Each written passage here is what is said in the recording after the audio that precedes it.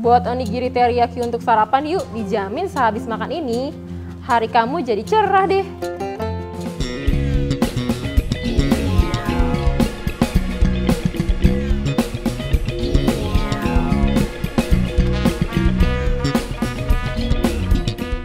Eh kita pause dulu ya. Kalau kalian belum subscribe YouTube channel ini, jangan lupa untuk subscribe terlebih dahulu ya.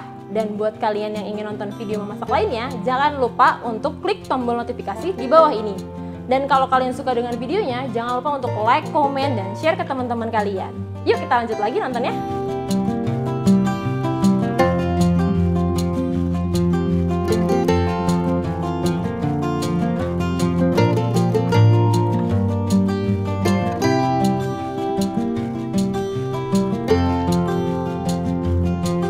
thank